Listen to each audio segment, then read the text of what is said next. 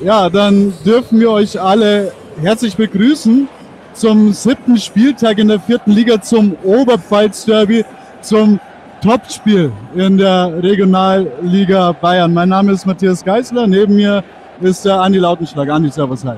Zurück auf Palionis wieder.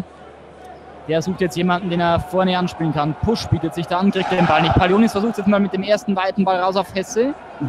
Hesse gewinnt das Kopfballduell, aber der Ball landet bei den Ambergern, die jetzt einen Gegenstoß initiieren wollten. Ball abgelaufen von Palionis und jetzt ist er bei Philipp Penke. Ja, man kann sagen, die Amberger verstecken sich überhaupt nicht.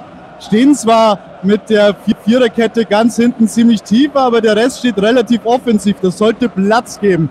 Wie jetzt hier der Seitenwechsel auf Jan Schwartz, schön gemacht vom Push. Da ist immer noch Jan Schwartz, zieht in die Mitte, da ist Kevin Hofmann, da ist Ziereis, der steckt durch. Jan George, Jan George, Tor, Tor, Tor, Tor für den SSV in Regensburg und es war Uwe Hesse. Jan George stand schon allein vom Torwart, schön durchgesteckt und dann sieht er, dass Uwe Hesse rechts neben ihm völlig blank steht.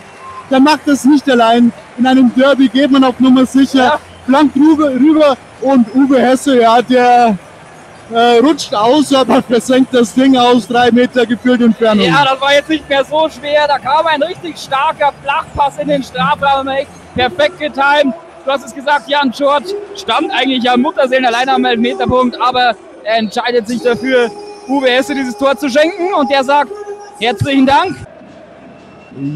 Jetzt wird er angepfiffen. Marvin Knoll, der ist nicht allzu schlecht getreten. Möglichkeit, Tor! Tor für den Jan! Und es ist Sias, äh, wenn ich mich täusche. Ja, nach seiner kleinen Durststrecke darf er hier wieder zuschlagen. Freistoß von Knoll am Tor vorbeigezogen, weit. Das war aber einstudiert, das hat man gesehen. Hinten wartet Hesse. Hesse bringt den Ball dann flach, drei Meter vor das Tor. Und Ziais steht da, wo ein Stürmer stehen muss, hält den Schlappen hin und zack, 2 zu 0. Ähm, ja, was soll ich jetzt sagen? 13 Minuten gespielt, 2 zu 0. Ich bin ein bisschen baff. Ja, aber die Amberger haben jetzt nichts mehr zu verlieren, schießen auch zum ersten Mal. Und da muss Philipp Penke, äh, da schimpft er auf seine Hintermannen, zum ersten Mal glänzend reagiert. Da war er aber auch gefordert. Kommt über die linke Außenbahn. Hofrat überläuft ihn, kriegt den Ball nicht. George flankt direkt in die Mitte. Hm, findet den Strafraum niemanden, aber auf der anderen Außenbahn ist Hesse. Der flankt jetzt auch nochmal rein. Da ist Hofrat, kommt nicht an den Ball. George versucht es. Zweiter Ball bei Knoll. George an der Strafraumkante zieht ab. Oh, Latte! Uh, ein Riesending wieder von Jan George hier. Also dem hat sein Tor in Augsburg offenbar gut getan, denn das war eine ordentliche Granate, die er da gezogen hat. Ja, da zieht der so ein Ding aus den Schuhen und äh, da ist äh, Matthias Götz gerade noch am Ball und kann das Ding an die Latte lenken. Es war eine Flugbahn, die kannst du dir nicht vorstellen. Und der Eckball jetzt von der rechten Seite wird getreten mit dem linken Fuß, kommt wieder gefährlich. Da ist die Schussmöglichkeit für Paliones. Paliones, Paliones, abgefälscht. Ja, das ja. ist jetzt schon souverän. Da ist Hofmann schön. Da ist Sias. Da ist Sias. Schießt Sias. Ja, da bricht er nochmal ab, bringt jetzt die Flanke, die ist nicht schlecht, uh. Tor für Amberg. Tor für Amberg. Und auf einmal steht es nur noch 2 zu 1 und eine halbe Stunde ist noch zu spielen. Und da war die Standardsituation, von der ich gesprochen habe. Ja. Äh, spielerisch geht nichts, aber Standards gehen halt immer. Schlecht verteidigt, das muss man jetzt einfach so sagen. Und jetzt steht es hier nur noch 2 zu 1 und es wird die letzte halbe Stunde dort tatsächlich nochmal spannend. Ja, Amberg jetzt, ja, schön von Uwe Hesse. Hier, Uwe Hesse zieht an, Uwe Hesse, Uwe Hesse steckt durch, das Ziereis, das Ziereis. Ziereis, ja, bekommt nicht den Ball. George! George! Ja! Da ist das Tor! Jawohl! Das ging jetzt schnell! Da hatte, da hatte der Ball so einen Drall. Der Ball, der schien schon verloren landete bei Jan Schwartz, der steckt rein und dann schlägt sie euch schon wieder zu. Ja. Und ich denke, besser kann man nicht antworten. Die Hamburger durften sich jetzt mal kurz freuen. Dann äh, zieht aber Uwe Hesse seinen Tempolauf an ja. und verunsichert dort die komplette Abwehr mit seinem Tempo. Äh, äh, spielt Katz und Maus mit der Abwehr. So ist es. Und auf einmal steht es 3 zu 1. Und die Amberger, ja, sie müssen jetzt kommen. Ob sie jetzt schon komplett aufmachen, weiß ich nicht, aber sie kommen über die rechte Seite, bringen die Flanke. Achtung! Oh, Achtung. Und da ist kurz gerade so dazwischen. Und, Und- jetzt landet der Ball bei Hesse. Schauen wir mal, wenn der den unter Kontrolle bringt. Na, noch hat er ihn nicht. Also hat er schon, aber konnte ihn nicht so unter Kontrolle bringen, dass er nach vorne spielen kann.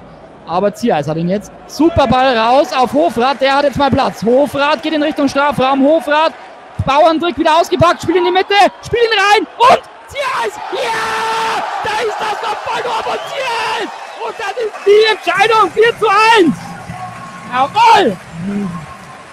Ja, Weltklasse gemacht von Hofrat. Ja. Wie du schon so schön gesagt hast, äh, Bauerndrick, äh, das hat er schon dreimal gemacht. Äh, das schaffen sie nicht unter Kontrolle zu bekommen, die Amberger Hintermannen. Und dann ist es eine perfekte Reingabe auf Ziereis, der den Ball in einen Flugkopfball verwerten kann. Christian Sauerer verkündet jetzt die offizielle Zuschauerzahl. Wir sind gespannt, ob wir den Rekord brechen konnten. Den Zuschauerrekord der Regionalliga Bayern. Knapp war es, aber wir haben es geschafft. Wir haben den Rekord gebrochen. 12.689 Zuschauer sind gekommen. Das ist der neue Rekord in der Regionalliga Bayern. Sehr schön. Die 10 Minuten wird der Schiedsrichter trotzdem spielen lassen. Jetzt Jan George hat den Ball erkämpft und kann in Richtung Strafraum gehen. Jan George ist im Strafraum. Was macht er jetzt? Legt zurück auf Schöpf und nein, das gibt's ja nicht. Oh, Schöpf kommt da mit Meterpunkt völlig frei zum Abschluss. Da setzt er den Ball knapp neben dem Pfosten. Vierte Ecke für die Amberger zu sein. Ja, wird von rechts getreten mit einem linken Fuß. Die kommt auch nicht schlecht. Kopfball, Ja. wieder Tor. Wieder Tor für Hamburg. Da ist das 2 zu 4. Schauen wir mal, die Ecke wird reingetreten. Wo ist Penke? Da ist Penke. Jawohl, bringt den Ball erstmal raus. Wird aber, nein, gibt keinen Einwurf. Ziereis kann den Ball nach vorne spielen. Findet Schöpf. Ja, und jetzt Jan George. Jetzt können sie den Konter setzen. Jan George hat den Ball, treibt an, geht durch die Mitte, spielt auf Schöpf. Schöpf ist im Strafraum und jetzt ist Tiefenbrunner da. Nein, er macht ihn nicht, er macht ihn nicht.